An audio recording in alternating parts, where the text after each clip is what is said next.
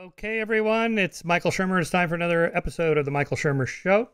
My guest today is Dacher Keltner, professor of psychology at the University of California, Berkeley, and the faculty director of UC Berkeley's Greater Good Science Center.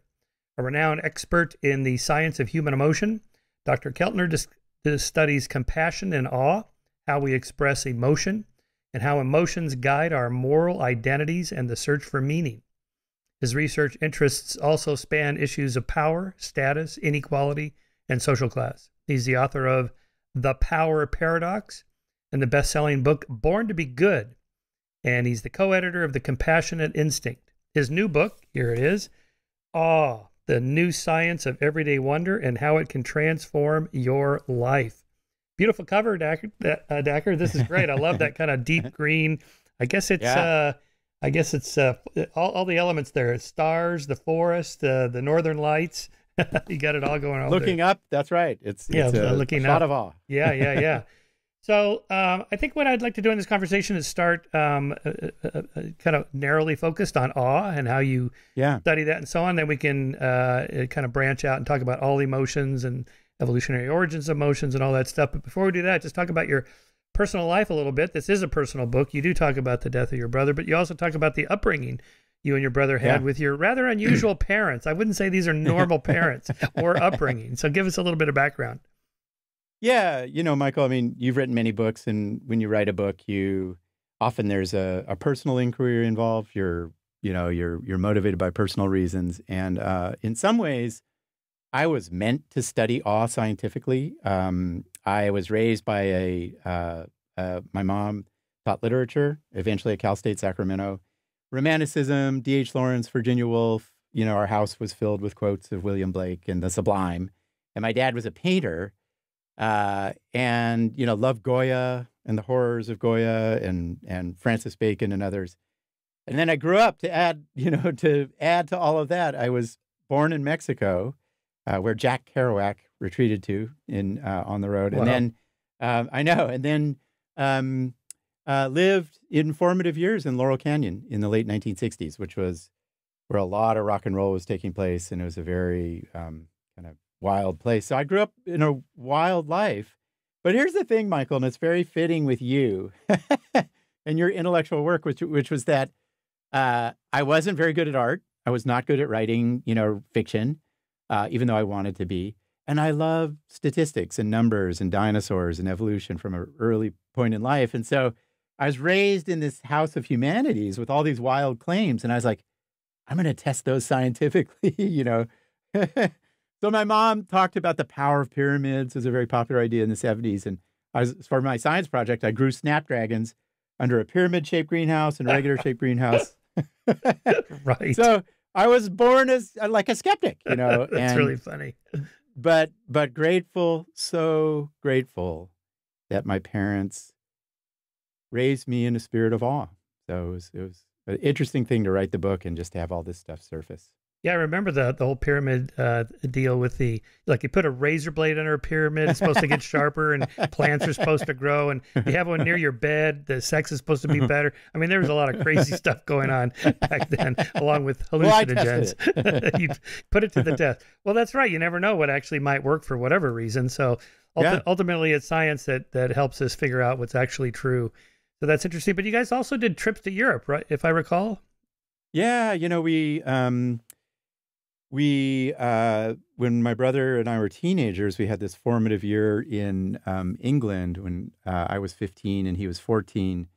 And again, you know, it's such a lesson in culture and awe, which is that my parents steeped in the humanities. We didn't have a lot of money for, you know, fancy dinners or beachside resorts, but you know, we stood in museums and, you know, the Prado with Goya and the Louvre and and we went to, you know, sites of awe and just took it in. And I um and I write about this. I had this really interesting experience with the Dutch masters and in particular De Hooch, where his he was a contemporary of Vermeer, less popular, but his everyday experiences of just quiet and peace and sublime, uh, they're still with me today. So, yeah, Europe really, I think, in some sense, taught me um, how cultures can really orient around awe in certain ways and for the good. Mm-hmm.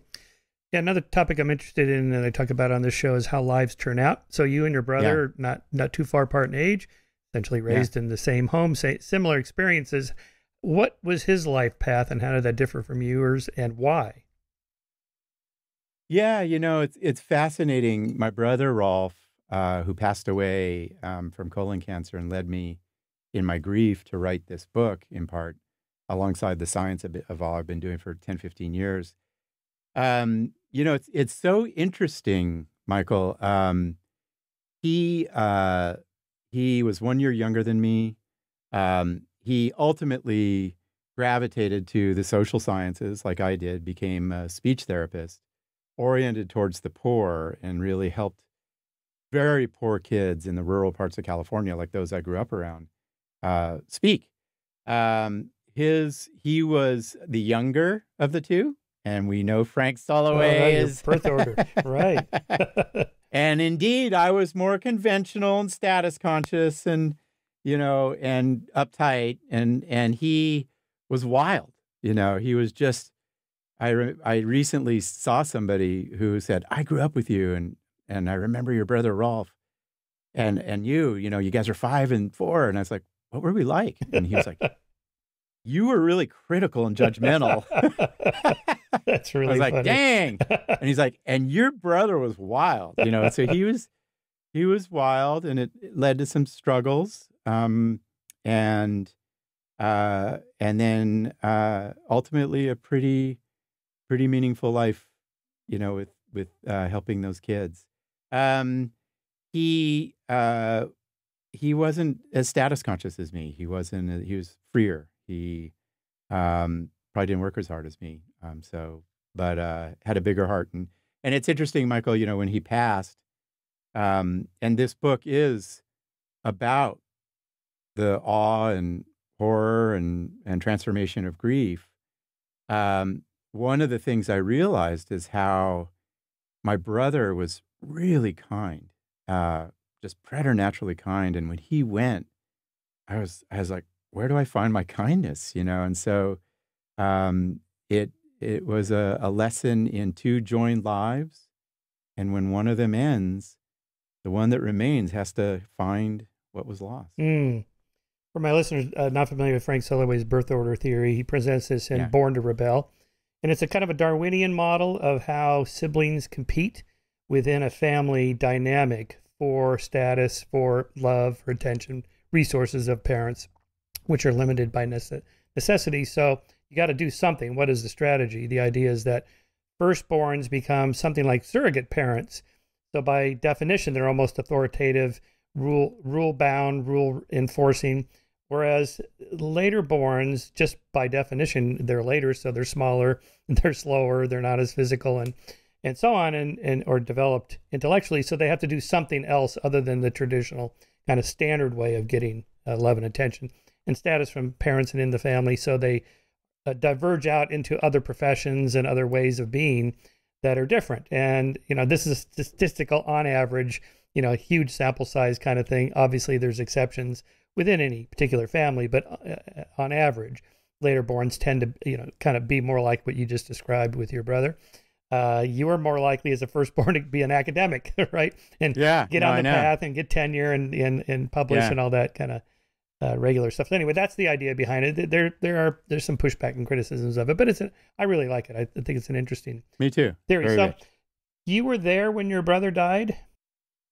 Yeah, thanks for asking, Michael. You know, um, one of the um, points of what it led me to write the book was the grief. I uh, Rolf had colon cancer uh, for two years, which is a horror show. And, you know, he's a big guy, uh, 6'1", 6'2", 210, and, and it just reduced him to nothing. And, and then he uh, passed away on January 26th. I wasn't there actually when he actually passed, but up until the, the last hour or two. And importantly, you know, it was fascinating. The whole buildup to that moment was horror. Um, you know, just watching a body experience pain and really um, uh, be decimated by colon cancer. And then seeing him in this, and he took a, a cocktail to end his life. seeing him in this state of approaching the end, um, and and we were all around him, and I literally, I mean, it felt like a kind of a Renaissance painting with the light and the calm and the quiet, and his face kind of influencing all of us, and it. For me, Michael, I don't know where you stand, but I hadn't, you know, I wasn't raised with a religious tradition. I'm more of a kind of a biological type. So I'm like, there goes the body. That's it. And and a loved one's death does raise big questions about, you know, metaphysical, quantum physical questions. What's life? Where does it go? You know. And so I was in a state of of mystery and awe um, that night, and then after just crashed. So it was it was a striking life defining experience. What do you mean you crashed?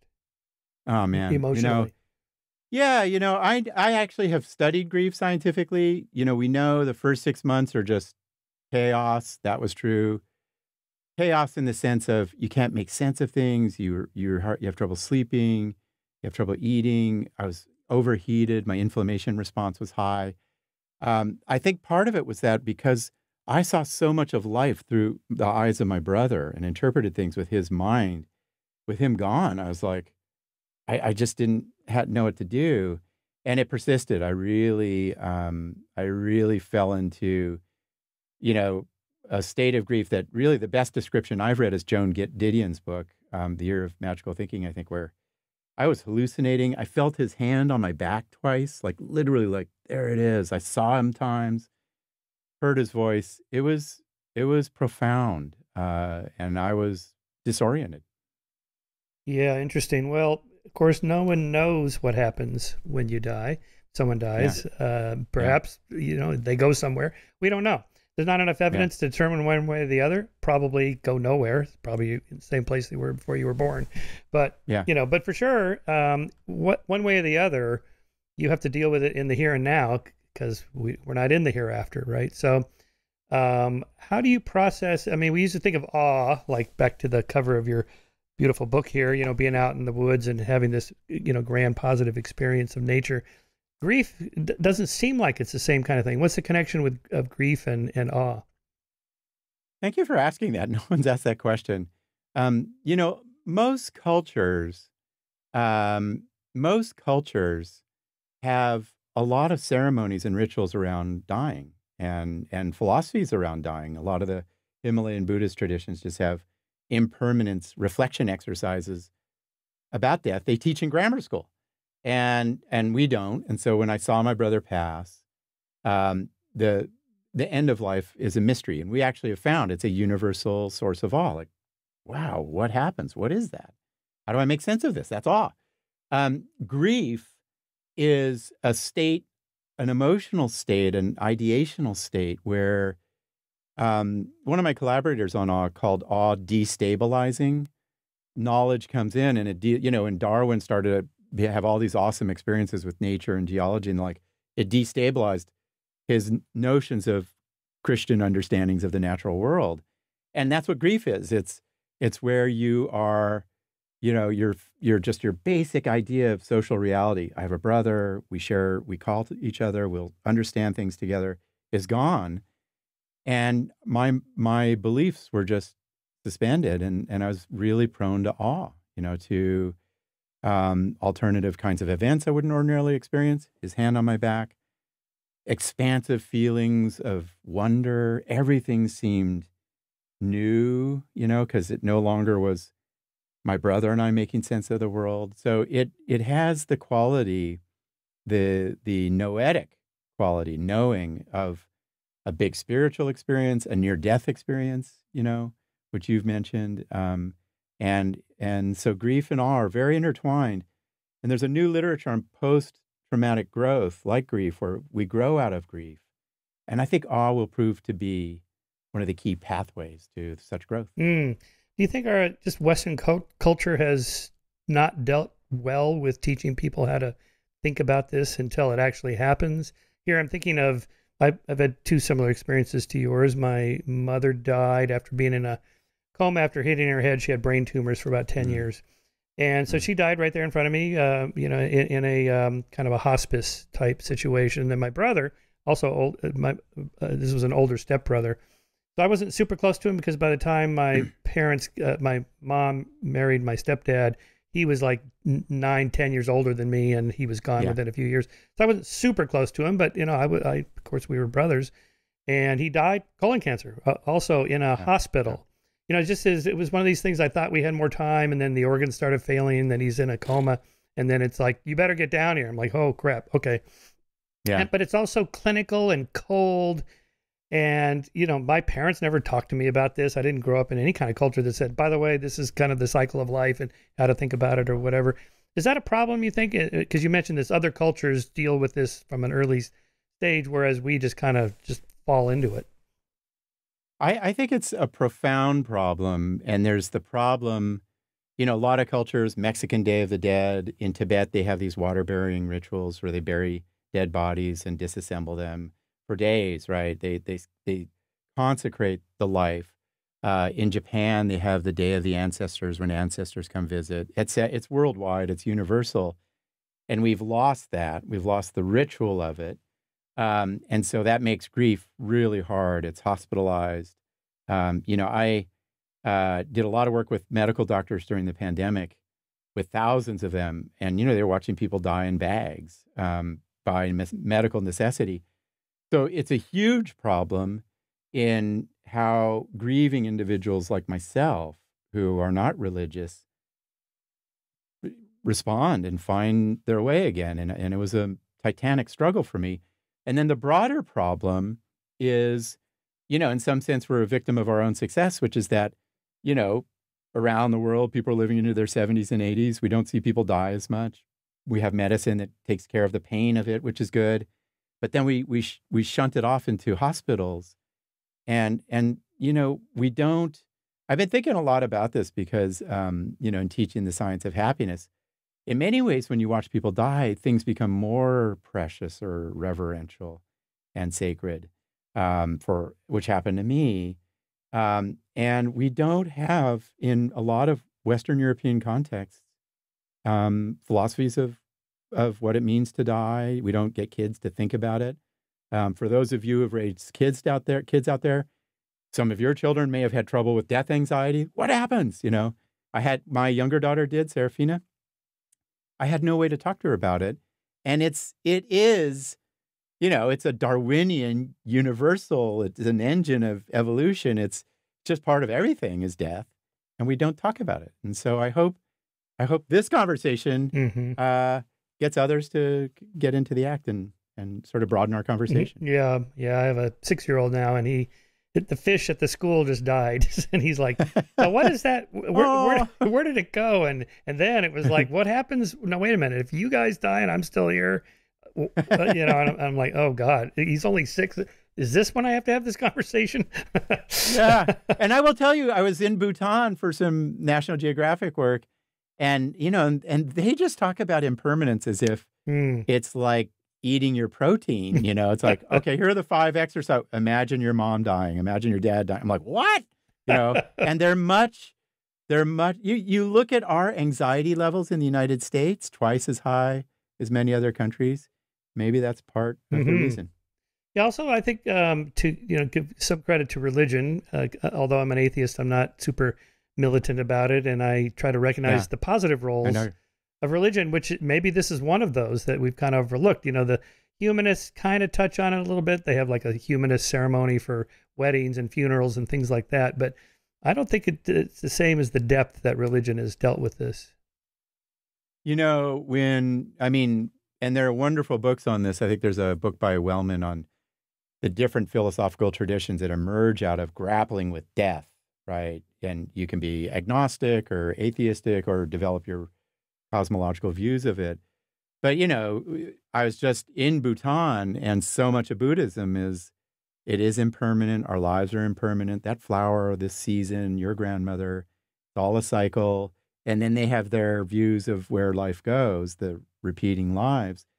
Yeah, you know, we're we skeptic secular types, humanist types are shocked by this inevitability and I was. So and I don't mean to to belittle it. It's profound, right? It's it's just a big question of how we make sense of it. Well, this is one of the you know kind of contributions of your book is you know building a literature uh, around this through secular, scientific, rational Thank you. arguments. By the way, you didn't mention this in the book. Maybe you've dealt with it elsewhere. The, you know, these ancient burials, Neanderthals, hundred thousand years ago, and so on. Do, do you have a sense of what they might have been thinking? I mean, these aren't accidental burials. They have grave goods and flowers in there, and so on. You can't help but wonder what were they thinking. I think, I think you know. Thank what a spectacular observation, Michael. And I'm I'm embarrassed I didn't uh, mention that. You know, one of the sources of awe and reverence, and we call it our eighth wonder. I call it the eighth wonder in this book. Is is just the appreciation of the life cycle.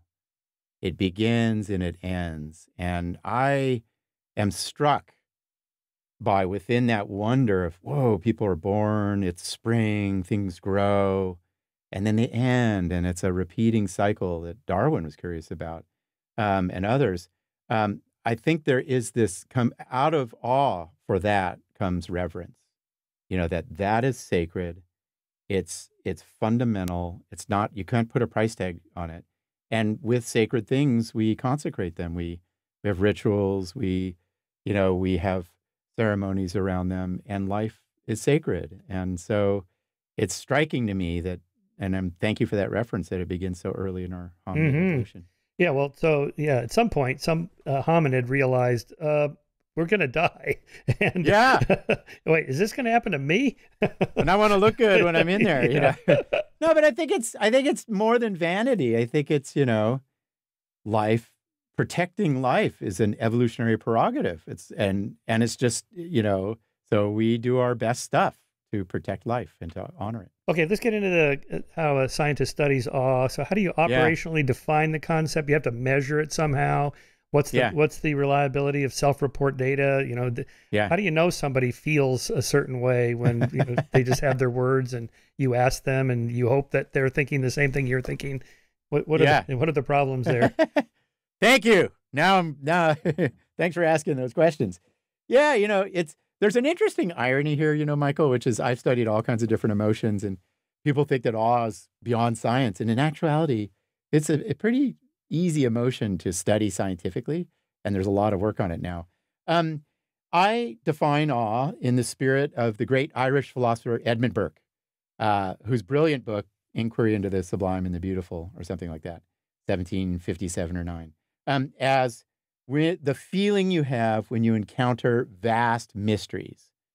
Vast can be physical. I'm standing next to Shaquille O'Neal. It can be temporal. Whoa, I just thought about my childhood. It can be semantic, like, wow, the theory of evolution accounts for everything. So, vastness and then mystery. I don't understand what's going on, right? I have this no- set of knowledge structures that are my mind, and it can't make sense of my brother's hand on my back or the pattern of stars in the sky, what have you. So, that's the feeling of awe. It produces a state of wonder. You know, I'm curious about the world. Um, you know, it's it's fascinating, Michael. Um, people will ask me, you know, uh, I had this experience where, you know, I was um, I was assigned a, a room in a dorm, and I was assigned the room of my of a young guy who was the son of my dad's college roommate, and we were in the same room, dorm room, you know. Ah, and, and is that all? And and you the way we measure awe to answer that question is it's this constellation of responses. When people feel awe, the word will come to them. They will feel small and insignificant. They will feel like there's some vast thing out there, like an ecosystem or an idea that they're part of. They will feel really what William James called saintly tendencies. They'll you just have this like I want to um, serve, I want to give, I want to cooperate, and then the body gets into the act, and we can measure awe with tears, which are a parasympathetic autonomic response, chills, certain kinds of piloerection chills up your back and arms. The vagus nerve is activated during awe, which is a big bundle of nerves that calms your heart and your breathing. And then even the default mode network, a region of the brain involved in self representation, is activated. So it's fascinating. You put those 10 things together, and we feel pretty good saying that person's feeling awe, right? They're talking about vast mystery, they report it. And what I, I think is important here is, um, you know, you mentioned self report, how reliable are self report? They predict things with 0.3, you know, 0.4. Uh, and um, I, like Edmund Burke, oh, really was skeptical of using a word to capture the whole phenomena. Uh, and and we can measure the different re- the branches of, of behavior and nervous system physiology that are awe. And the other, of course, is our behavior, right? Whoa, you know, wow, you know, and people. We published a paper uh, in Nature recently, Alan Cowen, that around the world in 144 countries, when people see fireworks, they go, "Whoa!" you know, that's a that is part of the package. So I believe we should really look at this full set of responses to understand this complicated. So it's a, a cluster of, of features, not unlike yeah. diagnosing a mental illness. You look in the DSM, and there's you know, like here's 27 features of schizophrenia. If the patient has 20 of them, then it tips it over into that category as opposed to some other category, and it's fairly predictive of of what we're looking yeah. for. Yeah, yeah. So I was going to give you an example here from Carl Sagan, one of my one to me one of the most spiritual scientists I've known here. That, why do you say that? Well, I'll, I'll tell you why. Because the opening scene of Cosmos, I'm going to read his his little uh, the script. He's so remember he's standing on the cliffs of the Pacific Ocean right in Big Sur at one of those uh, you know like 100 feet up. Esalen. Yeah, Esalen, yeah. just below the Esalen Institute there and this is when he says, and, and, so the, the, the footage is of the waves crashing sort of in slow motion against the rocks. The universe is all it is, or ever was, or ever will be. Our mm. contemplations of the cosmos stir us. There's a tingling in the spine, a catch in the voice, a faint sensation as if a distant memory of falling from a great height. We know we are approaching the grandest of mysteries and then they show some more of that footage, and he says, The cosmos mm. is within us. We are made of star stuff, and we've begun at last to wonder about our origins. Star stuff, contemplating the stars, organized collections of 10 billion, billion, billion atoms, contemplating, contemplating the evolution of matter, tracing that long path by which it arrived at consciousness here on planet Earth and perhaps throughout the cosmos. Our obligation to survive and flourish is owed not just to ourselves, but also to that cosmos, ancient and vast, from which we spring. Man. Wow. wow. Yeah. Yeah. Yeah. You know, and what I love about that, and, and in the book, I, you know, one of the things that I did writing this, Michael, and thank you for that quote. I, I didn't, I had other experiences with Sagan, but not that one. That's an awe experience, right? It, it's about the small self and connected to the vastness. And, and the grand trajectory of time and and then the made of this this life dust or whatever he calls it star stuff that that very much returns in many experiences of awe right? Emerson kind of having an experience in uh, a museum where he really thought about uh, american transcendentalism darwin kind of thinking about uh, the grandeur of nature um, and uh, and even mystical experiences. And i know you've thought about you know the structure of religious thought. And so awe animates so many great insights like that where we really start to see our place in the universe. So thank you. Yeah. Wonderful. well so it's a way that anybody can be spiritual. Again that's one of those loaded words you know i'm spiritual yeah. but not religious. Well what does that mean? Well in a way you're talking about that's what you're talking about right? Yeah i you know it was it was so interesting because um in our study of eight wonders of awe, mysticism, spirituality was one of them. Not as common as I thought they would be around the world, but definitely part of uh, that. And and uh, I'm not a religious person, so I, as I've said, and and so I interviewed ministers. I read up on the science of religion, some of your writing and other thinking, and and you know I uh, really think and I adhere to the view that, as you say, you know, Americans, thanks to people like William James and Ralph Waldo Emerson and Margaret Fuller, enjoy a pluralism of spirituality. They can feel spiritual in prayer, in chanting, in sacred texts, in backpacking. 40% of Americans consider nature to be divine, psychedelics, etc. And what's happening is they are finding awe in these sources. It, like that Sagan quote of "I am part of something vast," and and and then arriving at spiritual thought about it, you know, and and identifying what is sacred in it. And what's been fun to teach awe uh, is that it, you know, I like you am worried about the really harsh skeptics of religion, given how religious people and spiritual people are. Awe is a way to ask people about their sense of the spirit or what transcends the physical world, you know, how it arises in music and the like. So uh, I think it's oh, it will open up new forms of inquiry mm-hmm. in the science of spirituality. I love how you ended uh, quoting from Darwin's final chapter, final uh, uh, paragraph from Origin of Species. Here's another one from Darwin I liked. When I view all beings not as special creations, but as the lineal descendants of some few beings which lived long before the first bed of the Cambrian mm. system was deposited, they seem to me to become ennobled.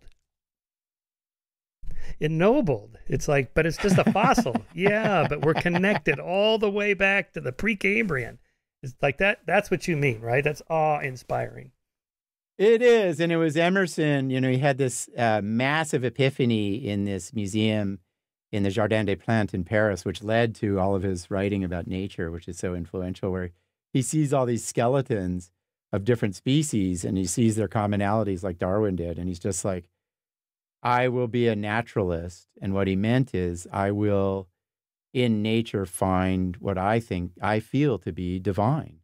Um, and yeah, you know, there's this quality of awe that we have not captured scientifically, but it it, it in, in little findings here and there, which is out of any experience of awe, for the most part, you could like the conspiratorial types of experiences you write about. One might be a, an exception. You feel that people are noble. You know, you feel they mean well. They are trying. They have a, a, a good core to them. Um, so that's a stunning quote. Yet again, thank you, Michael. That I should have had that one as well. So um, All right, let's look at some of the figure. let's look at some of the predictors of awe. So you have nature, yeah. music, art, dance, movement, exercise, love, friendships. Just go through some of the data and research you have on this. What what predicts awe and what do, what, yeah. what isn't does not lead to it so much. Yeah, you know, if awe is your feeling about vast mysteries, how you respond to vast mysteries, um, within the, the field of emotion, philosophers have pressed us to say that doesn't do enough. You gotta you gotta figure out what's called the intentional object, like what's the focus of consciousness uh, in an emotion.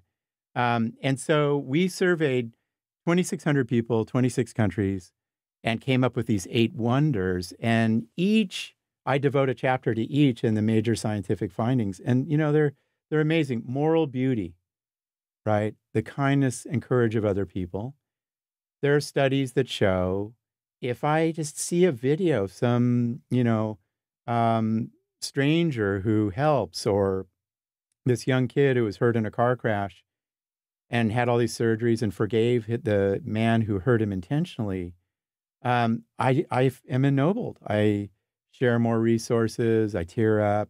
I'll give, it'll countervail racism. Moral beauty is one.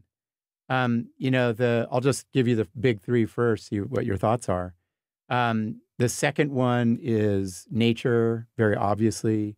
There's a huge literature on the awe we feel in nature, you know, just how it affects us in through our sensory systems and the patterns, like Darwin saw, uh, and the calm and the quiet.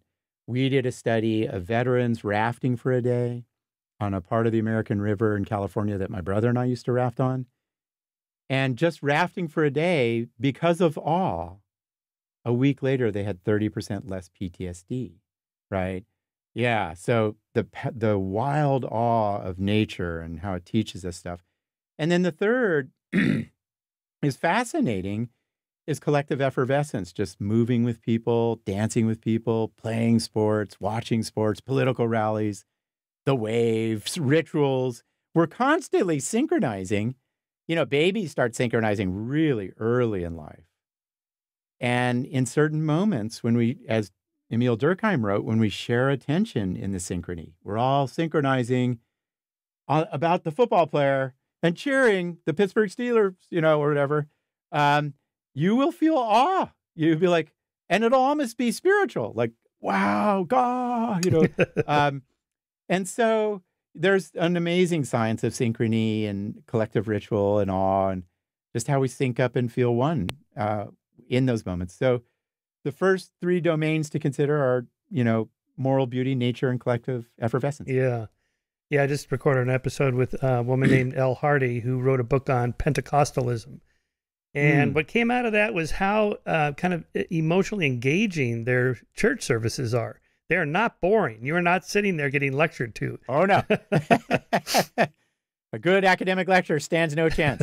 yeah. And, you know, another wonder is religion and spirituality. And, you know, I'd be curious to hear what you think, Michael, but I love kind of this new science of cultural evolution and and and religion with, with, that advances the idea that religions are almost like I hate to use this phrase like awe amusement parks. You know, they use all the tools of awe that we've been evolving for millions of years. You know, beautiful images and tall forest-like structures and touching and giving and rituals and chanting and singing and and next thing you know you're tearing up and you know, you're feeling spiritual. One of the things I noticed early on in studying New Age movements and groups is they always congregate in these really gorgeous places like Sedona, Arizona, and you know Esalen Institute in Big Sur and Hawaii. You know, they're never out like the middle of the desert where there's nothing.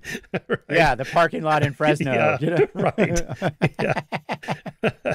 well, you know, I called that intelligent design, yes, which is I like that. You know, yeah, it's like that's the real intelligent design uh, in the feeling of awe within religion is, you know, religions like sporting events, like a great political rally, use a lot of the sources of awe to to make you devoted. Mm-hmm. Yeah, political rallies, right?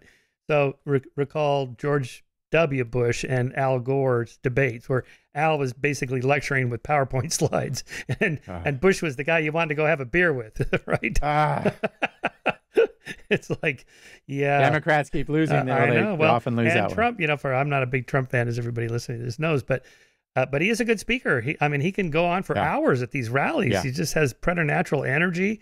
He seems to yeah. read the audience, and and, and there's he, he's off script most of the time because he's just sort of seeing how the response is, and and, and you know, and people, you know, I've been talking with people recently. There's a rise in the interest of the emotional dynamics of political movements fear based movements, rage based movements, and awe. And, and I think, you know, for those of us who were not uh, supporters of Trump and we watched his rallies, you know, I remember Dave Eggers reporting on it, who actually went to them and he said, the Democrats are in trouble, you know, because the, the awe and vitality at these rallies is, is, is on fire. And, and it's a fascinating, you know, awe is very contagious, Michael when people tell stories of awe, other people get moved, you know, and literature is a cultural representation of the stories of awe, often or myths and the like. And uh, we got to watch out for the contagious mm-hmm. power of awe. It can be striking. or just develop it. It's a different kind of. It's not a lecture. yeah. right. You're, yes. A, uh, yeah. Okay. A couple other things. So I sent you some pictures of Steve Pinker and I uh, out riding yeah. in the on the oh. on the coast. But those yeah. pictures is when it was when he was in town. It was a massive storm, and the waves and the dark skies and all. I have similar pictures from the same places when it's clear blue sky. It's beautiful, but it's not the same as with the storms and the clouds and the crashing waves and the darkness. I don't know what it. What is the difference? One is beautiful and the other is awe-inspiring. You just gave me goosebumps with that question because it took us 10 years to answer that empirically. Thank you. And and it's this it's a defining question in the 18th century study of awe of Edmund Burke first and then Immanuel Kant. They're like, how is beauty rolling, you know, waves, an ocean, a horizon, beach versus awe, the sublime? Uh, you know, what you described very aptly, Michael, of like, whoa, you know, dark clouds and the like. And it, it has to do uh, with the presence of mystery, right? You know, that you just, with those dark clouds, you don't know if you're out physically on your bike, might they produce lightning storms, right? And there's an element of mystery and danger that the beauty doesn't have. And then beauty uh, tends to be a little less vast. So in our research, nature scenes for those photographers out there uh, that are more beautiful, they tend to be more human scale. The awe photography tends to be vast, like shooting up into the redwoods. Um, and and I think that um, that's a critical distinction, uh, both for the science of emotion and then thinking about evolution, which is we have good accounts for why we really like beautiful faces and nature landscapes, E.O. Wilson and the like. But now we've got this realm of vast mystery that we have to explain that really is different subjectively, as you suggest. Mm. Right. Didn't uh, Burke talk about certain colors like red and black and Did contrasted he? with, you know, that, that, that were more yeah. awe invoking, I think. I, I was just, when you were talking, I was thinking of Edvard Munch's The Scream, mm. you know, it has black and dark and red and I don't know. You look at that and it is I, I don't know if it's awe-inspiring or scary or mysterious or what, but it's it's not beautiful. No, it's not. And and that Munch scream, like a lot of art, like Goya's work, and I write about this in the visual art chapter. There, you know, Goya did these paintings of war that are horrifying, but they're aesthetized. They have beauty in them, and so because they're art, they astonish us with the awe of how we can be horrible horrible to each other.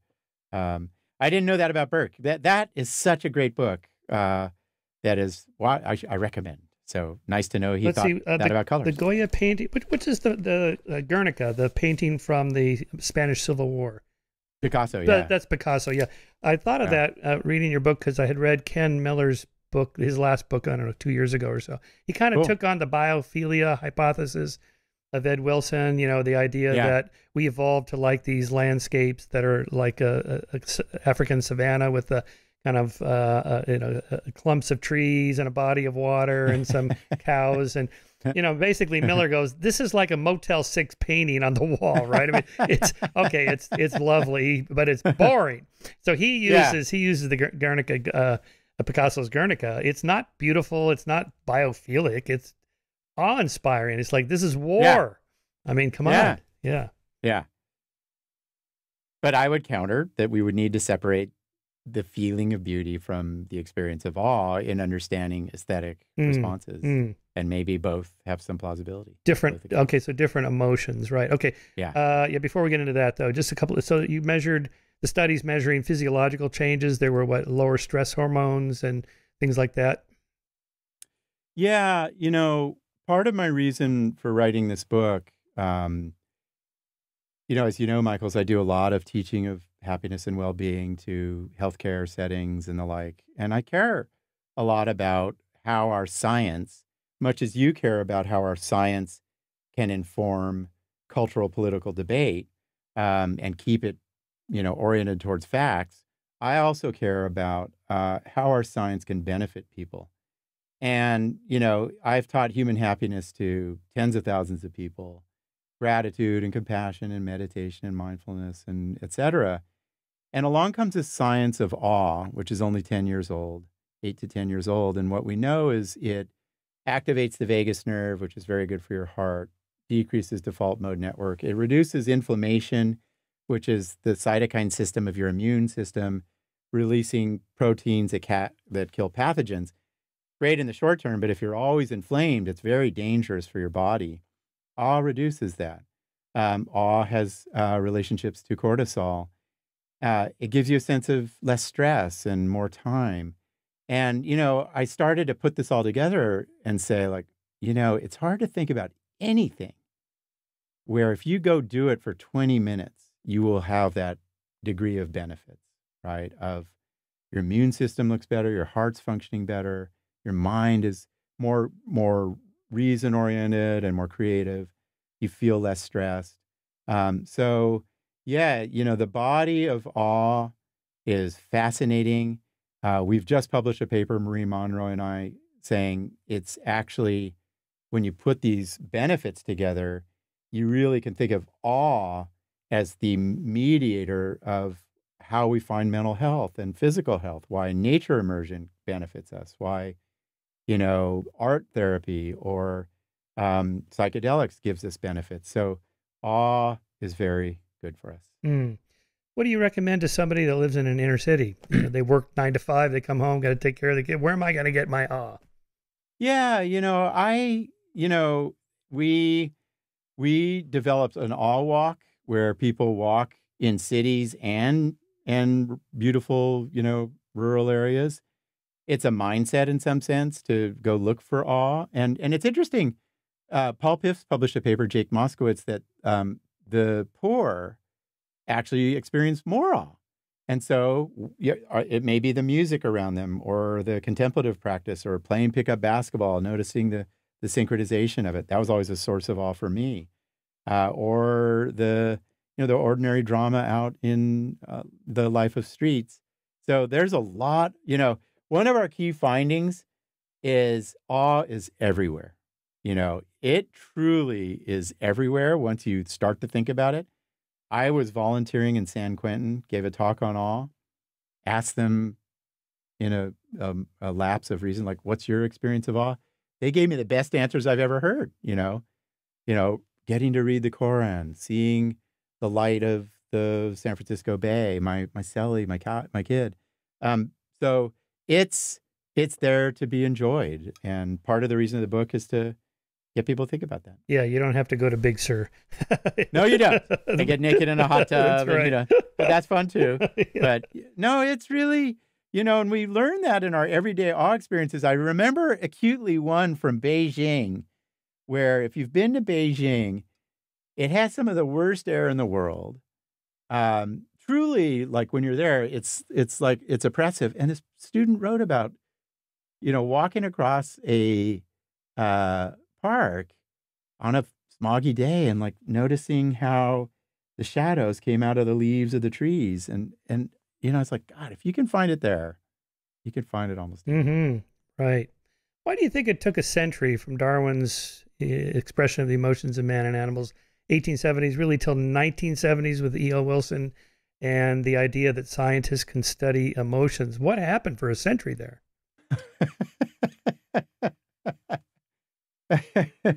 it's ridiculous. yeah. I think, you know, um, I think that uh, there was this sense, which I think is has some grounding in it, but is problematic that um, emotions are unstudyable. You know that you you can't measure B.F. Skinner inside the black box. You can't measure experience with words. Um, you can't.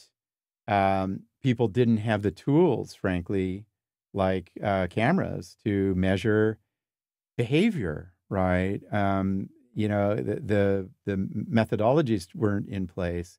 I also think that there's something of um, kind of a cultural bias, the cognitive imperialism, if you will, of you know that you know we got so taken with just what you know Danny Kahneman called system two, like just the what the operations of the mind that we're aware of with language as driving behavior. And that actually is a questionable thesis very often.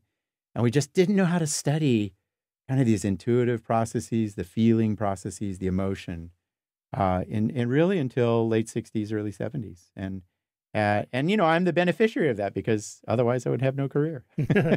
Indeed. Well, the whole po- positive psychology movement also was what maybe 1990s, really, when that right yeah. finally came online.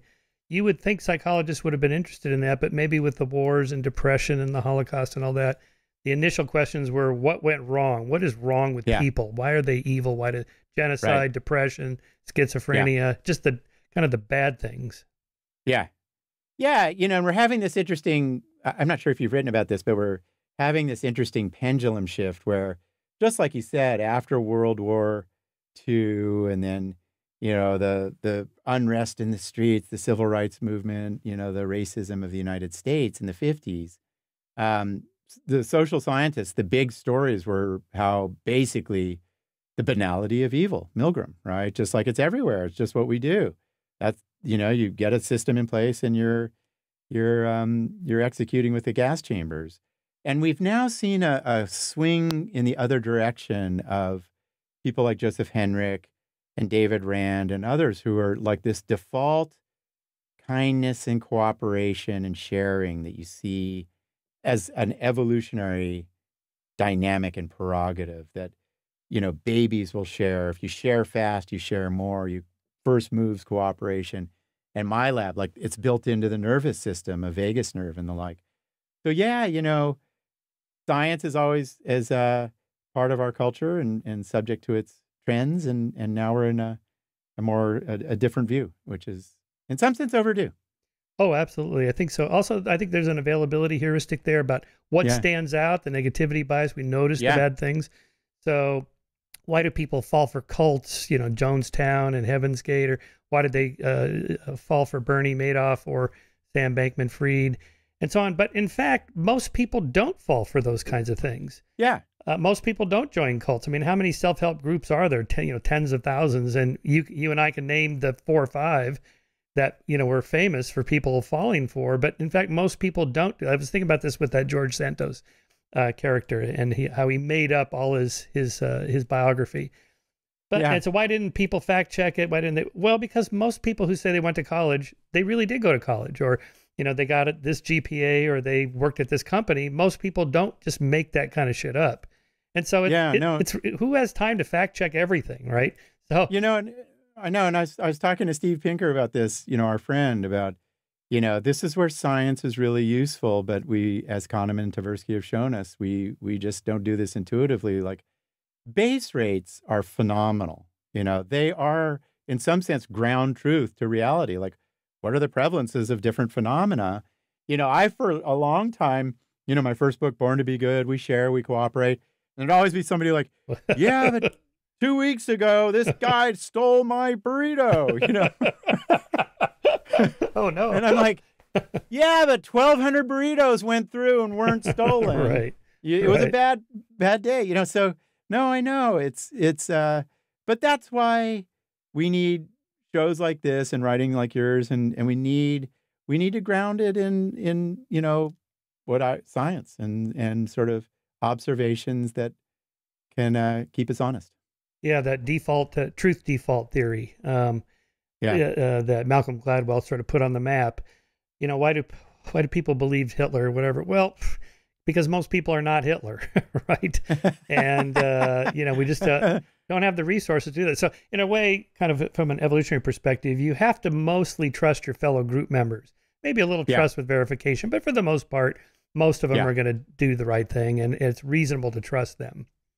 Yeah, Yeah, I think so. I think that, you know, when you add, and we've worked on this a bit in studies of reputation, like when you add, you know, and you think about the work of that I was really influenced by Christopher Boehm, the reverse hierarchy Mhm. and the studies of small scale societies, like all the sharing and trust and cooperation that takes place as the default. So I trust. That's a sensible assumption. And then the violations become very noteworthy and uh, reputation worthy gossip worthy. And so, yeah, I think our better tendencies are almost the the water that you know the the air that we move in that we don't recognize.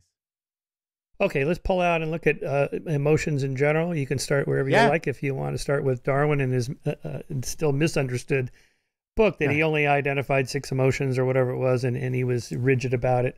What do we? What? How does that science start with understanding emotions in general? Yeah, you know, um, Darwin. There, it's interesting.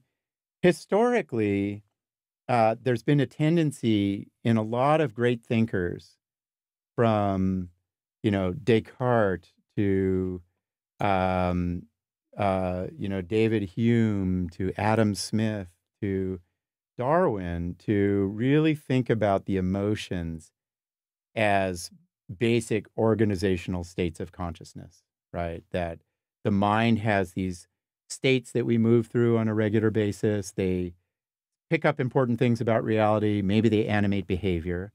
And so that's just been a common assumption that Aristotle as well, for example. And Darwin comes along, you know, um, and starts having the sense, you know, he hears he gets these challenges to his evolutionary account of um, of behavior, and they start to make the argument, the critiques, the creationist critiques that yeah, you know, maybe the you know the physical world has evolved, but the human moral world, the human world of consciousness, the human world of kindness and reverence and beauty didn't evolve. It was given to us by God, and there were really ridiculous uh, sort of anatomical arguments about that. And so Darwin went on a journey, and he, you know, he gathered all kinds of observations uh, from his kids to zoos to uh, people that wrote to him. You know, thousands of observations. And I'll just sort of set it up here, but he writes the expression of emotion in man and animals.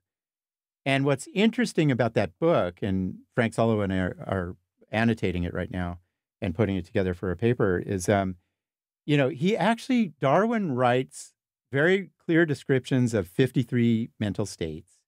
So Darwin thinks that our states of emotion that have uh, been with us through evolution uh, are really complex. They're not just four or five or six, they're 53 states like love and sympathy and reverence and horror and terror.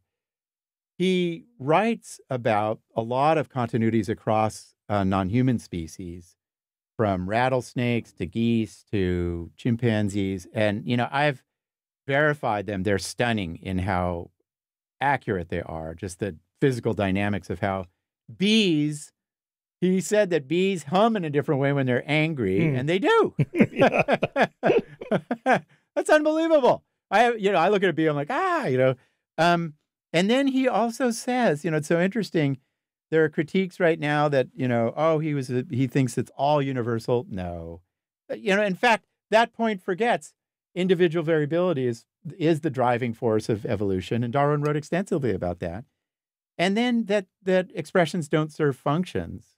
And Darwin has many observations where he's like, you know, the voice is this language of falling in love and becoming devoted, and you know, anger displays subordinate other people around the the displayer. So, so what's fascinating, and this is all this is a, I, you know, it's it's so stunning to me, and and literally, just in the last six months, I've I've worked on this, which is Darwin writes about 53 emotions. I've always read Darwin. Frank Sulloway and I talk about him. Darwin inspired a lot of my research on awe, compassion, um, and uh, embarrassment and shame and laughter.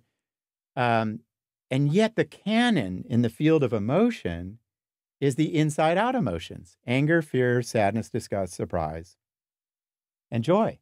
Uh, and that's because my mentor, Paul Ekman, who's a hero of mine, got such attention by showing there were six expressions that were universal and all the fights around that, that the field forgot everything else. And that's how field. And you know what's striking, Michael? We, you know, I did a little bit of homework and I read up on different, you know, personal essays of Ekman. He hadn't even read Darwin when he went to New Guinea. Oh my God. to do the research. and for years I've been teaching like Ekman read Darwin and he goes to New right. Guinea and he tests it and he wins, you know. And it's like, nope, it, it came after. So, so we're working on. Um, yeah, I think the field will eventually, twenty years from now, have a much richer story of that aligns with a lot of what Darwin said. I think that happens a lot where people don't go back to the original source. You just kind of read the encapsulated source. Darwin said this, so I went and tested it. And also yeah. in science, there's that tendency, the way papers are written, for example. Here was my methodology. First, I did a background literature search. Then I set up a methodology. Then I ran this experiment, and here's what I found. Of course, it almost never happens like that, right? uh, so even even writing a book, so you end up with this kind of caricatured uh, opposite. So you know, Ekman says, "Well, I tested Darwin. I found this," and then you have someone like Lisa uh, Feldman Barrett, uh, kind of the person on the other side, saying, "Oh no, no, no, it's not rigid. I found these exceptions." But of course, yeah. if anyone had read the original book, like you and Sulloway just did, I read that paper that, that Frank sent me, and it's like, wow, I had no idea either because I haven't read the expression of the emotions very carefully. I kind of flipped through it, no. read a few sections. I remember, ah. I remember Steve Gould said something about it was the first book or one of the first books ever published with photographs. I don't know, yeah. if, I don't know if, yeah. that, if that's true or not, but anyway, I always thought that was interesting. But I mostly just looked at the pictures. yeah. Me too. and somewhere on my bookshelves, I have I I Eibel Eibesfeldt's book where he shows photo, yeah the photographs of the Papua New Guineans and people and. Asians and and Caucasians and so on smiling or looking surprised yeah. or whatever. And from that, you just go to okay, so this is universal. And then someone like Lisa comes along and go, hey, I found three exceptions. Like, okay, now how how do we deal with that? Well, you guys deal with that uh, quite adequately. That it's not that simple. Okay, so let's let me ask a simple question. What are emotions for?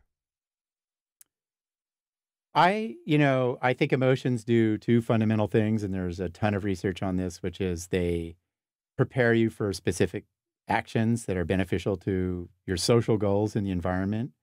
Uh, so if you look at the rich literature on anger and rage, mm. and Darwin differentiated between the two, and you think about Sarah Brosnan's work of rhesus macaques protesting that they don't get the grapes, right? Mm, oh, yeah. And little babies doing temper tantrums and anger displays and anger at work.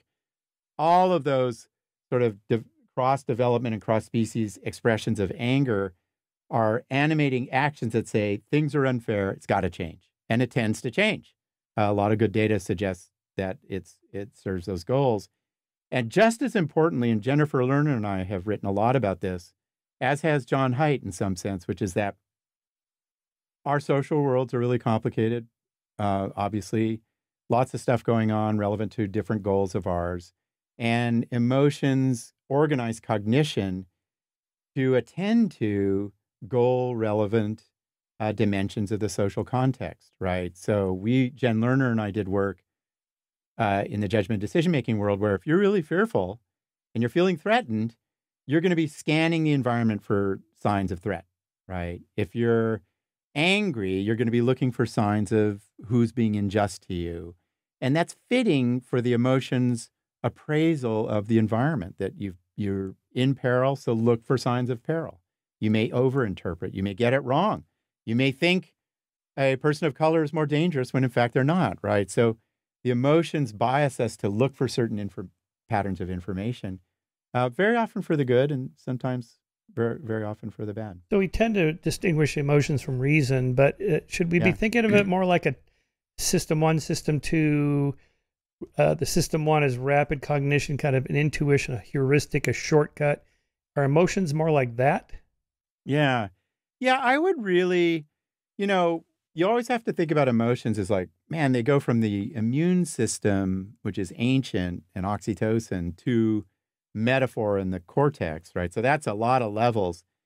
And I really, you know, Kahneman has system one, deep intuition feeling, system two, rational, you know, explanation, probabilistic reasoning, and the, and the like. I, you know, Mark Solms has this book, The Hidden Spring on Consciousness, where he really says that feeling is consciousness, right? My feeling of enthusiasm for this con- conversation is how I feel about it.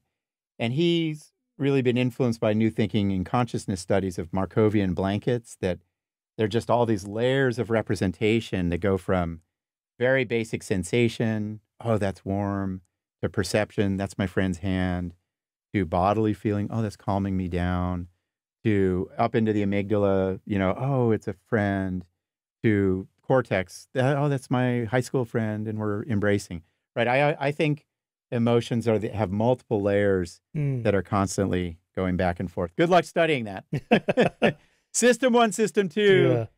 in some sense, is is uh, after the fact theoretical construct that says, well, this is about how we can study it in the lab, which is fast stuff and slower stuff. Mm. Right. So it's more of a quantitative difference. And at some point, we draw the line and say, that's a yeah. thing. We reify yeah. it as a thing. That's jealousy. That's love. That's guilt or right. whatever. So I guess the evolutionary question is why should there be a sense of guilt or shame or pride and joy at all? Why would that even be there? Admitting, yeah. uh, even while acknowledging that cultures can tweak it, cultures yeah. can tell you to be feel guilty about this or about that, and that varies. But why is the guilt there at all? Yeah, that question is, you know, really the question. that that question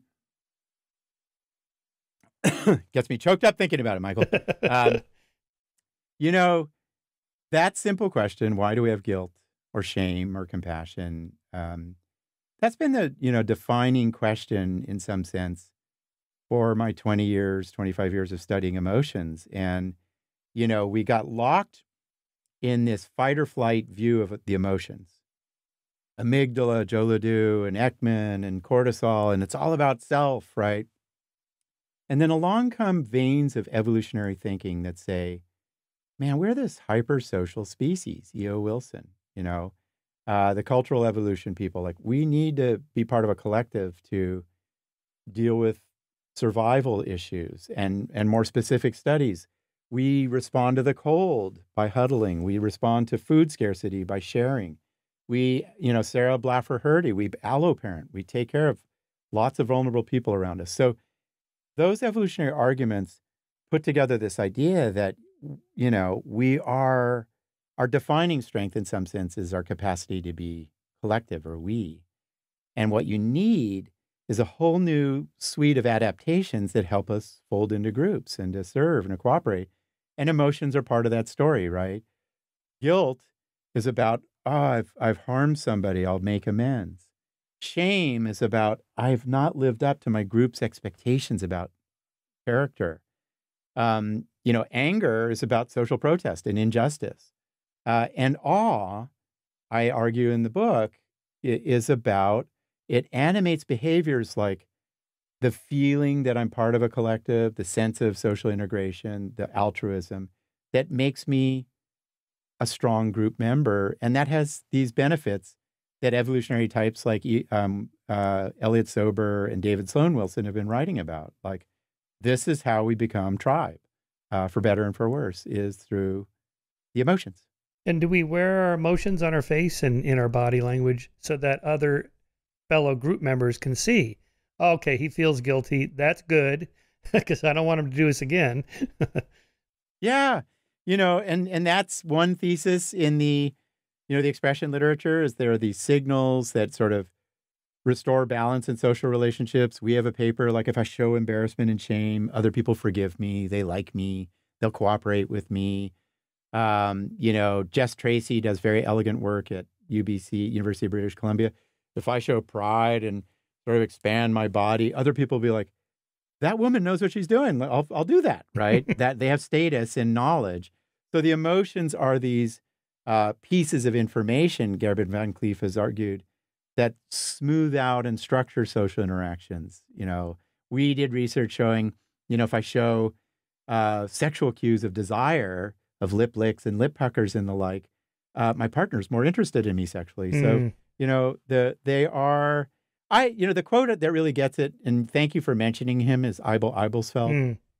Emotions are the grammar of social living. Mm, that's beautiful. Expressions, structures, right. how we we get things done. Right, right. So we have those emotions uh, because we're a social primate species in which there's a certain yeah. percentage of freeloading, cheating, lying, mm. and so on. I guess the argument would be that it, it's too much for natural selection to eliminate every single last bully, free rider, and so on. A group can tolerate a certain amount of this. This is Christopher Boehm's research on these yeah. uh, hunter-gatherer tribes. What they do, you know, uh, when they deal yeah. with these people, you start with gossiping about them and, and shunning right. them and shaming them. And when that doesn't work, ultimately, capital punishment. You take the guy out on a hunt and come back without him. right? it's yeah. crazy. But I know. but but but so there's always going to be the Bernie Madoffs. You know, there's just a handful of them. And we can tolerate them, but you got to have a system in place, and and that's yeah. what these moral emotions are about. Yeah, and that's the you know you know, the question of the authenticity of the signal is a big debate. And, it, and the empirical literature fits it pretty well, which is expressive behavior correlates with feelings of love or kindness or compassion, 0.25, 0.3. Um, and that means there are going to be people who can exploit that. That like, oh, I know how to look compassionate. I just like look into the camera and oh, you know, and I can fake it and exploit people. But on balance, like you said earlier, it's it's a good assumption to assume that that it is a sincere tendency associated with the expressive behavior. And then you need these systems that catch the cheaters and and gossip and the like come into play. Mm. Okay, on the physiology question, I'm walking down the path. There's a rattlesnake, and I immediately jump and run, and then I all of a sudden am, am you know kind of overwhelmed with the emotion of it. Was it the physiology that made me feel the emotion? Did I have the emotion and that triggered the heart rate and the stress hormones or whatever? Or what do we know about the sequence there? Yeah, w- that's almost unanswerable. Okay. And, you know, we, because what that needs is a kind of methodology where you can measure, you know, millisecond by millisecond shifts in heart rate and then track, have people report on their experience, have a sense of the context. And, you know, reporting on experience, I have a lot of doubts about because, as do other people in the field, it's often retrospective. It happens a minute after the event. A lot of stuff goes in between. So that's we haven't made progress on the order question of what comes first, physiology or subjective conscious experience. Um, but we'll get there. You know, the the measures of physiology are more sophisticated. The statistics we use to to model it are, uh, but it's we're still pretty primitive on that very hard question. Mm-hmm. well, some of those didn't survive the replication crisis, right? There was the one where if you hold the pin in your mouth yeah. horizontally, into, it forces your mouth into a smile. You'll find a joke funnier. Whereas you you pucker your lips and hold the pin, you know, uh, where it's sticking straight out, then you, you assess the joke differently. Or the power pose. I remember when I saw that talk at TED. Yeah you know, and yeah. afterwards everyone's walking around with their shoulders back and their head up and like, oh, I got my power pose going. The theory being you will then you, you you fake it till you make it. You you act it and then you will come to believe it yourself and then that'll yeah. influence the people around you. I think those haven't held up too well, right?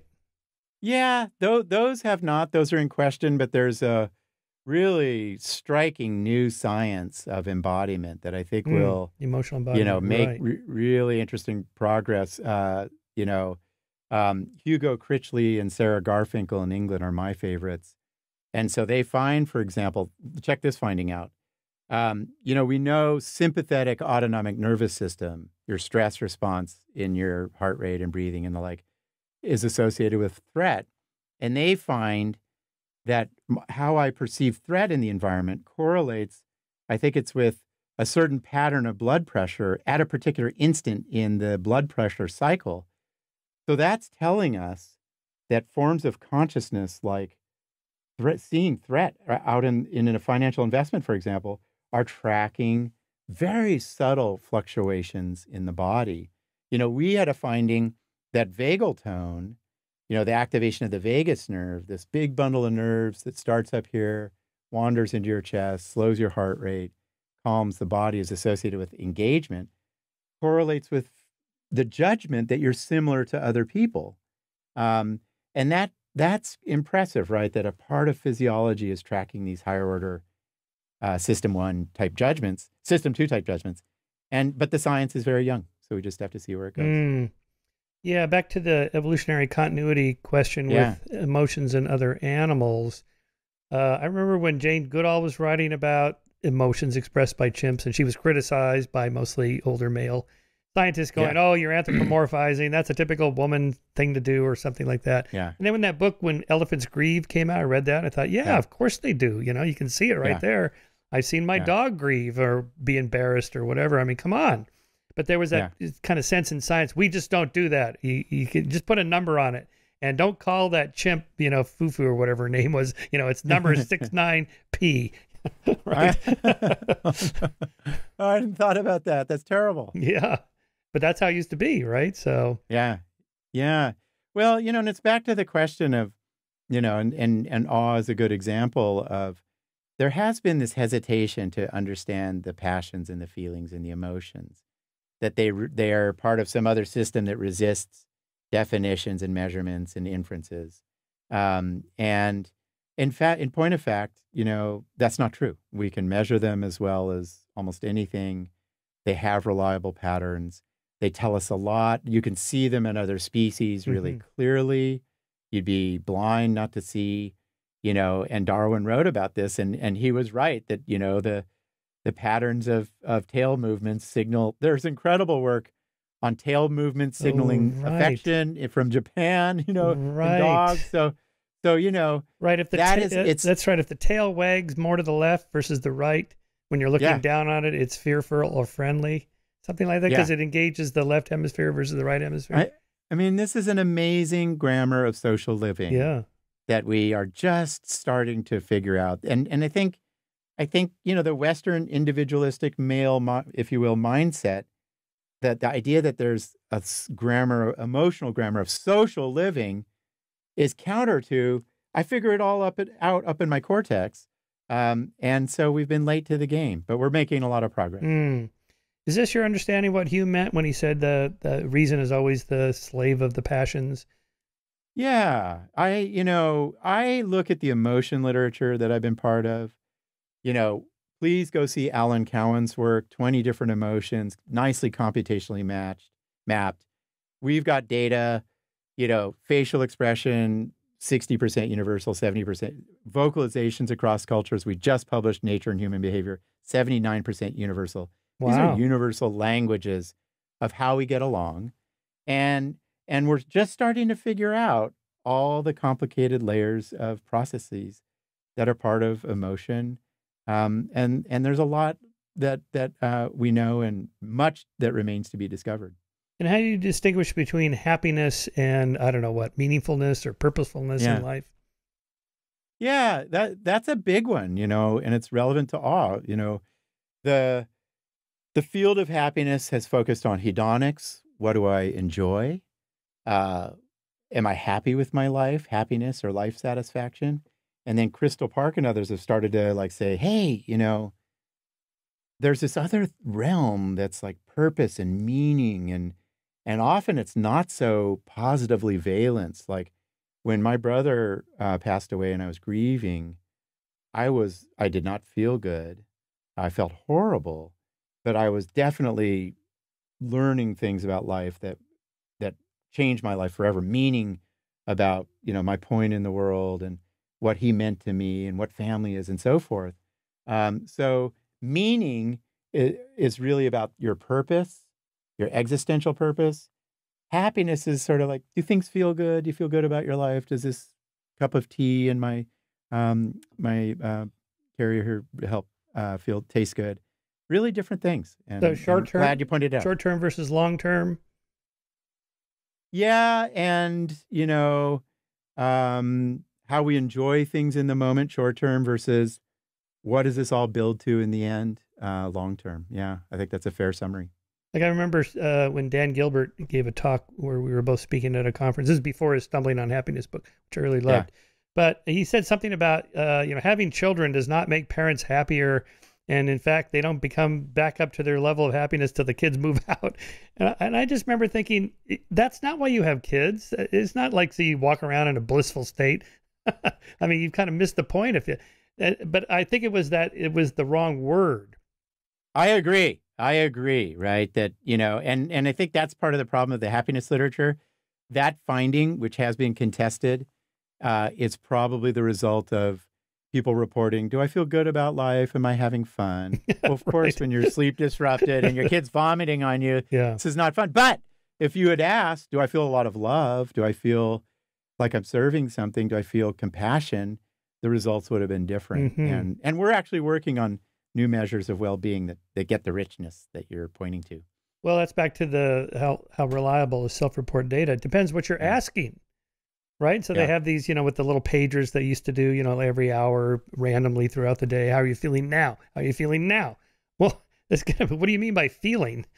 you know, Yeah. I mean, if I'm out on a hard bike ride, and I'm suffering. I'm not happy, but you know, I love doing it. But it- Yeah. the happy or how am I feeling is not really quite the right question. It is. And then you think about, you know, you think about the actual words of one of the most widely used questions like, are you, how satisfied are you with your life right now?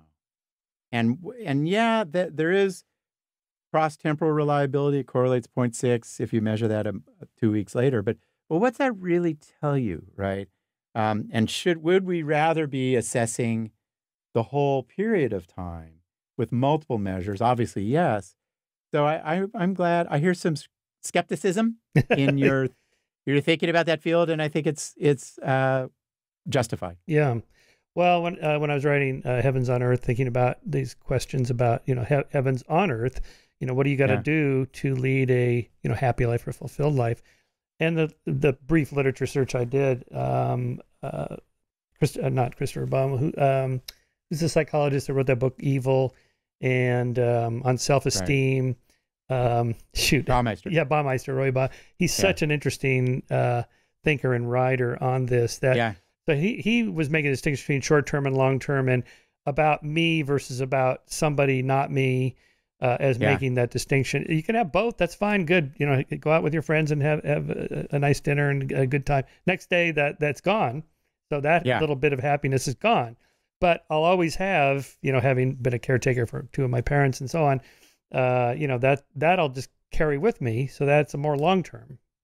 Yeah. No, and I think we, you know, so much of the science of happiness, so much of the science of emotion, so much of the science of awe is just short term. I got somebody in a lab for half an hour, I do some stuff, have them report what happens in the trajectory of life and and we we don't have clear pictures on on really big questions. hmm But I like the idea of uh, your everyday awe, just finding Yeah. maybe Yeah. just once a day, just stop and go, okay, I'm going to spend 10 minutes right here looking at whatever I'm doing. Uh, and just and just take myself out of this other world where I'm just bleh, doing regular stuff. Like the, the yesterday driving down the hill from my house, and because of the rain, there's this new little waterfall that's never I've never seen. I've Mm. been here in Santa Barbara six years, and Oh. uh, so and, and and I noticed when I pulled over, other people were pulling over to take pictures of this. Now, by waterfall standards, this is a puny, wimpy little waterfall. It's nothing, but it's never been there, right? It's like, oh, and you just kind of, and the hills are super green because of all the grass from the rain. And it's like, wow, okay, this is a moment. And so I pulled over and I took some, I picked iPhone pics and, and it's like, I thought, oh, oh, Dacher would be very proud of me. I'm getting my everyday awe, 10 minutes of awe. Excellent. yeah, you know, for our re- listeners, you know, it was a really striking finding that people feel awe two to three times a week, you know, and I didn't expect that. And they're just finding it in just exactly what you described, like just being open to discoveries and suddenly like, oh my goodness, look at, you know, look at the moon right now or or um, look at the person playing the violin in the streets. And so there's a lot of awe around us that we're often uh, not quite open to. And uh, given its health benefits, uh, I turn to more everyday awe in my own life. hmm Yeah, I think that's good, and, and your book really does that well. Okay, lightning round as we wrap up here. Just a couple of big questions Okay. since I got a great mind with me here. Uh, the problem of consciousness, the hard problem of consciousness. You know, so your uh, your just whole discussion of emotions really brings this up. How do you know somebody is feeling that, and and and what would I mean? How do you go from molecules, hormones, and, and whatever swapping across synaptic gaps to experience of awe? Oh man, you know, yeah. well, there's there's the the compromise solution, which is, and we've worked hard on this with Alan Cowen and others. Like, if you measure consciousness enough rich richly, rather than these impoverished self-report measures that you've been pointing out, um, you can capture consciousness, you know, subjective feeling pretty well. We have a paper I think will get published um, on our conscious experience of aesthetic emotion in response to paintings. And if you measure, you know, each painting, you you get them to report on 50 different semantic terms, you can really predict how much they are moved by that painting, 0.95, right? So you can get there. Does that correlate with physiology? It's a slightly different question. Um, but still, um, you know, that that um, still does doesn't uh, get the full force answer to this. And I think that we're going to need, you know, new kinds of methodologies to solve the hard problem of consciousness, where we measure the molecules of the brains and the bodies, and then map it into a person's use of words, ideally with narratives, and then have a way of, you know, maybe through big data or you know, et cetera, where how those words fit into the cultural meaning of of those words at that time. I think I think it's almost tractable, but there will still be mysteries. Mm. It reminds me of a, another one of these TED-like conferences where one of the speakers was the New York Times editor for like perfumes. I mean, just like Yeah. like reviewed perfumes. I've never even heard of such a thing, but okay, there it is. And he had Yeah. and he had like this rich vocabulary of words you use to ah. describe a smell. And it's like, Yeah. yeah, how would I describe a smell? I have no idea. but the way he used the words, I thought, yeah, okay, it's kind of woody or it's you know, it's this or that, and like, okay, Yeah. I think I'm getting that, barely. Yeah, no, and and that's that's a lesson to us, which is, you know, maybe we should be studying the experts that have these rich vocabularies that really see how their rich vocabularies track all the subjective uh, processes associated with a, an Mm. experience. Or like that movie Sideways, Paul Giamatti Yeah. and Haden Church go on a boys I love that weekend. But it's kind of a send up of the of the wine culture and you know and and the Paul Giamatti characters, you know, trying to teach him like what to sniff. You, you hold it up there and you say, okay, I, I'm getting a little whiff of this woody color and then the flower and then this and then that and and the Haden Church character's like, what are you talking about? He's, are you chewing? Dude, are you yeah. chewing gum? He's saying I'm chewing gum. it's so funny.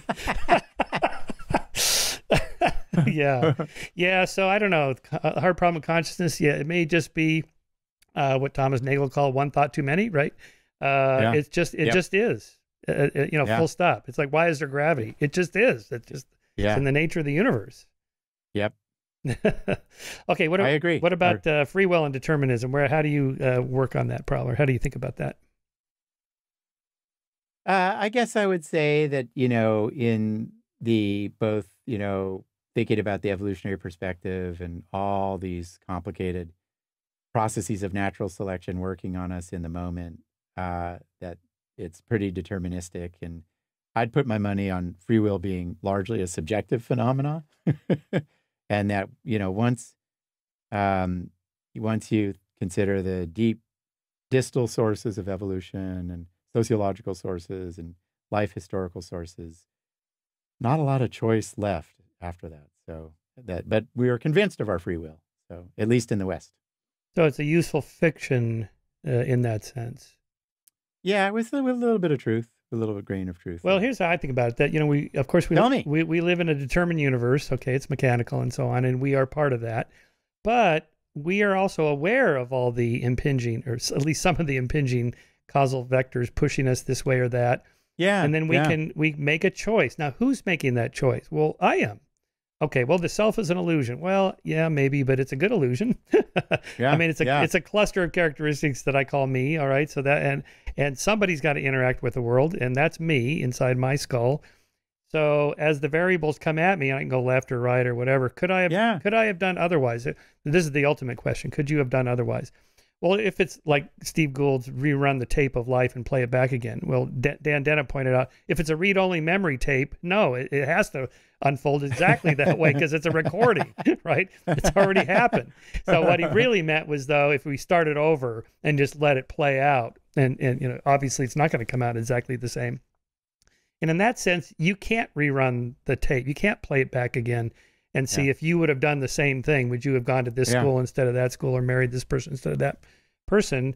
But we, you can't do that. There's no computer that could ever do that. So, in a way, time moves forward from past to future, and you're on the journey. And you're the one Yeah. making choices, okay? yeah, I, I remember last time I did this and that got me in trouble with my spouse or whatever. So now I'm not going to do that again. I'm going to do this other thing, right? Whatever it is. And so somebody's making a choice there. Somebody's evaluating the options. Yeah, you know, and, and it, what it suggests is that, you know, the different domains of conscious experience operate according to different laws. Some may be Newtonian, others quantum physical, others, you know, de- deterministic, others free will. And, you know, in the world of narrative, right, which you're pointing to, sense of self as narrative and story, maybe that's where free will is. And then in the choices that we make, right, the reactions we have, you know, given all the sociological, economic, evolutionary, genetic forces, it may be different. And so I think we always have to think about domain. Hmm. Yeah. Then, since you talked about restorative justice in the book, which I, I really like that Yeah. section, um, Thank you. Uh, are we going through something of a restorative justice revolution with the uh, Black Lives Matter, George Floyd, the Me Too movement, everything that's happened in about the last five to seven years? Yeah, it's it's profound. Um, the kind of the interest in you know the different forms of justice, restorative justice being making amends for historical, personal, societal harm. You know, in prisons, it's about prisoners making amends for the harm they've they've perpetrated. Um, yeah, I think that it is. You know, I tend to uh, abide by Steve Pinker's sense that history is moving towards less violence, um, more justice. I think some of the data, if you just look at the base rates, just life expectancies of people of color 60 years ago today, um, and even in sort of shifting um, attitudes recently towards the incarcerated, who I've worked with. So I do. I think um, I George Floyd was, you know, eh, the I think was the most important political event in the last decade uh, in the United States, and it's shifting. It's just a different world. So, uh, with challenges and a long history of racism. Is that what you mean by uh, kind of a sense of awe through moral beauty? Yeah, very much so. I mean, I think that the feeling around you know George Floyd was horror, unbelievable horror, and then then the, the inspiration of the Black Lives Matter movement, um, and then you know the the broader feeling of new moral concepts emerging in the local social actions of Me Too and you know Harvey Weinstein and George Floyd, Greta Thunberg, right? Just like suddenly these moral, you know, coming out of the blue, totally unpredictable. No political scientist would have ever modeled that. And suddenly, you know, the Greta Thunberg has inspired a movement that has a lot of momentum and and and that is the feeling of awe at the moral beauty of, of people. Mm-hmm. Well, there's some uh, sense of progress over time where we yeah. did not used to put ourselves into yeah, other people's right. shoes. So how does that happen? You know, there's top down. You can have laws. The you know the Supreme Court votes that gay marriage is the law of the land. Done. Okay, you're not right. going to do this anymore. now, I would prefer it come from the bottom up, right? We just change the yeah. the norms and customs and the way we talk about other people, and that's language, right? So you right. don't you don't use the N word anymore. We don't use the B word for women, and so on. And that's just kind of changed slowly. I always like this example from Richard Dawkins, where he he says he could identify within a decade of when a novel was written, going back, you know, like two centuries, yeah, uh, based sure. on how they talk about Jews and blacks and women and so on. And it's like, yeah, so how does that change? Uh, you know, it's hard to pinpoint, right? Just, yeah. you know, TV script writers just use different language and we all kind of listen to that or the music changes or cartoon editorial cartoons or I don't know what. Yeah. Well, that, you know, we're, you know, in awe as a player there where Jonah Berger's done work what do we like to share in terms of New York Times stories? It tends to be inspiring and awe and awe, awe filled. So I think that you know, um, in some sense, when we get to cultural evolution, how do we change our ideas about gender or sexuality or social class or what what should we do with prisoners or what do we do with the the people with neurodiverse tendencies? Uh, I, you know, it's interesting. I, th- I think, Michael, we're arriving at a hypothesis here, which is it's through the awe of moral beauty, right? That you, we as a collective are destabilized by somebody like the response to George Floyd, and then, and then it spreads, and new ideas emerge, and protests happen, or innovation happens, and so I think we need you and I need to collaborate because that okay. would be that sounds. Good. I like bottom up social change too. Yeah, I think. Yeah. You know, so well, Howard you, Zinn has. A, you wrote about that in the book about uh, what it takes. How many people in a stadium it takes to get a wave going? It's not many, right? Yeah, it's twenty. You 20 know, hundred thousand people. you know, can like if you just like do that with twenty people, they'll you can get hundred thousand people. So you know, it's it's uh, worth considering and being strategic about. Interesting. All right, last question. So you come back a century from now, mm. and what is what does uh, psychology look like in the study of all these these huge topics?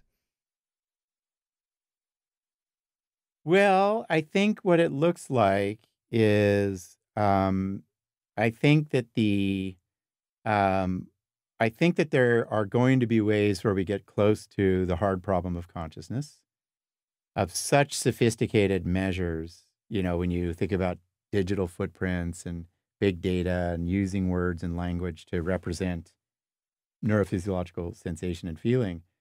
I think, and then the advances in the study of um, uh, physiology will will start to really say some interesting things. Oh, that's what I wanted um, to ask you about was AI. yeah, because that's yeah. part of our future, right? Are you worried? It are you are you worried about AI? You know, there's the, the kind of Bostrom uh, level of concern. Yeah, I'm not as worried about it as um, other people. Um, it you know, it all depends on what we do with it. Obviously, AI. You know, I do work with um, Hume AI, and which is just you know automatically coding facial emotion, vocal emotion. There are a lot of good uses to to that. You can be less. We could produce a less biased society. We wouldn't be suspending young African American boys for, you know, for speaking up uh, as they are. If if we had some sense of an objective read of their emotion, women are misdiagnosed for their pain. Uh, that's easy to detect with AI. You you just put away uh, male surgeon's bias. Um, so I'm not as worried about AI as the uh, the doom and gloom people. Um, I'm more worried about you know what the new technologies are taking us away from, um, like immediate social interaction and getting outdoors and the like. The social media, you mean? Yeah, yeah. So is the data? Do you think the data is pretty clear that um, this this kind of spike in um, depression, anxiety, cutting, self uh, suicidal ideation, and so on, particularly among teenagers, especially girls? I don't know, age thirteen to nineteen or twenty or so. More more in girls than boys, it but it's all go- gone up across the board. You know the the kind of competing hypotheses. It's you know it's just social media time in general, just screen time in general versus specific things like Facebook and being feeling uh, FOMO like feel, feeling being left out or or fear of Yeah. missing out and so on. Uh, and if that's true, what you know, should we regulate it? Should parents what you know, what do you uh, advise to parents? Yeah, I I speak to parents a lot and you know, um and I I you know, I have looked at the papers, Jean Twenge and others, recent 2020 papers. Um and there are correlations there, uh, just as you're saying, you know, and whether pinpointing the specific content in a post to a child's suicidal ideation, I'm not sure we're there yet um, but it's there, uh, and it, it is problematic, and so and and I worry profoundly about it. Um, you know, and so I tell parents, you know, to I tell parents treat the new social media like hard drugs, right? Oh, That- wow. like parents used to, which is this is dangerous stuff. hmm Uh, it is addictive. I don't think it's dopamine addictive. I think it's it's a different kind of addiction. Um, you know, the core principle that everybody champions of like teach kids to use it to their make it good for them, right? So at, that's a contemplative act of like, is this Instagram post? Should I tune into what's it? What am I doing this, or am I mindlessly scrolling?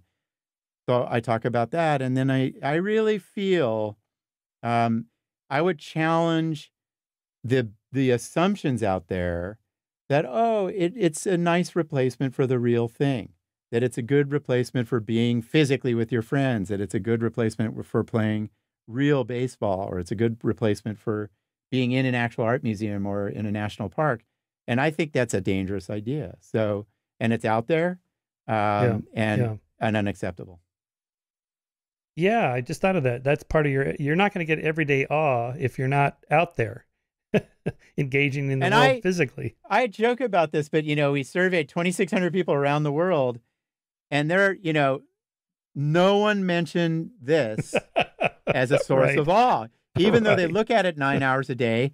And this company really wants you ma- to make you think it's about awe. You know, no one Right. mentioned it.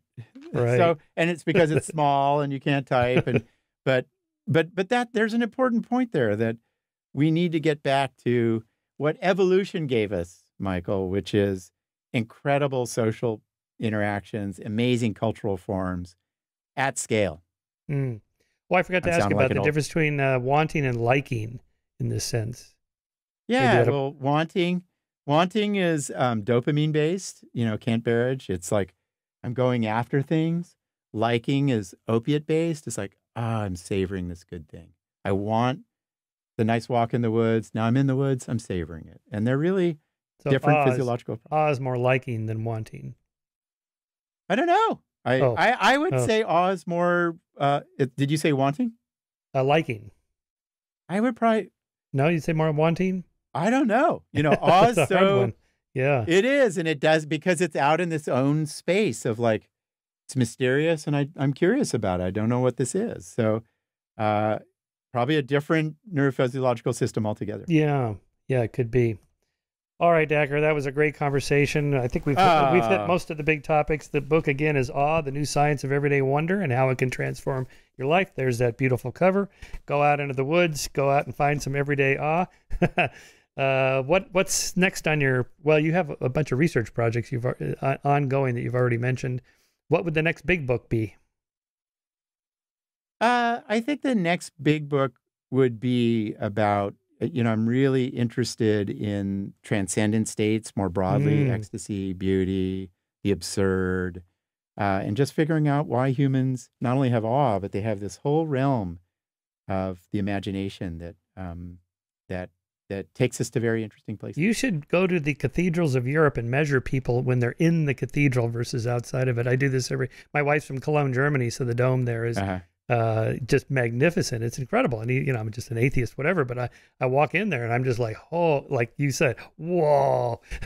You know, I was going to do it at Sagrada Familia. We had some students there in, in Mm. Barcelona, but people were like crowded, and Oh, it was kind of a football match. So, That's but I hear funny. you. I would love to do yeah, that. no, it's. Uh, I mean, even the stained glass windows, they're designed in Yeah. a way that you know the light kind of flows through uh, at certain different times of day. No, man, it's Uh, I mean, those guys they figured that out centuries ago, long before scientists like you came along. You know, this is what works. it is. We're a poor approximation. That's right. All right, Dacher, thanks a lot. All right, Michael.